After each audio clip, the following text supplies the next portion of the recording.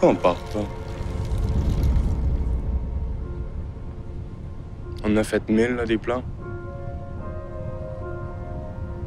Check, tu viens, tu viens pas, mais moi, je pars.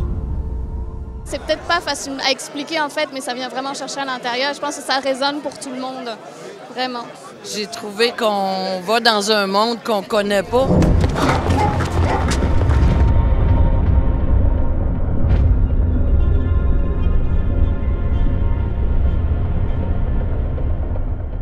C'est venu me chercher un petit peu à quelque part dans ma jeunesse. L'histoire est très bonne. Les acteurs sont malades. Euh, magnifique. Magique. Vous pouvez pas continuer à vous promener de même, là? C'est qui, ça? C'est TV puis Samu.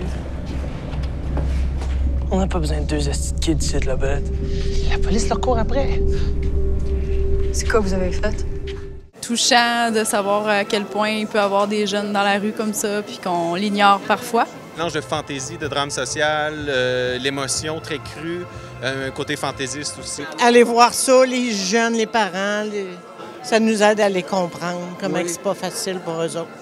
Je l'ai vraiment trouvé très bon, beaucoup d'émotions en tout cas. J'ai versé ma petite larme, c'était certain. Je retourne pas là-bas, TV. Puis toi?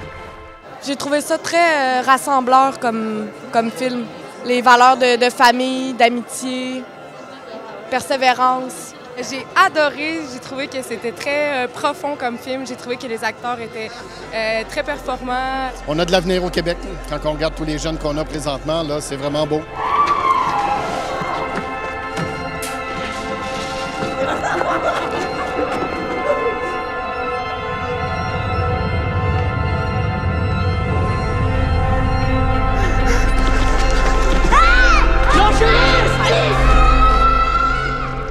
Tu t'es pas obligé de me suivre en TV.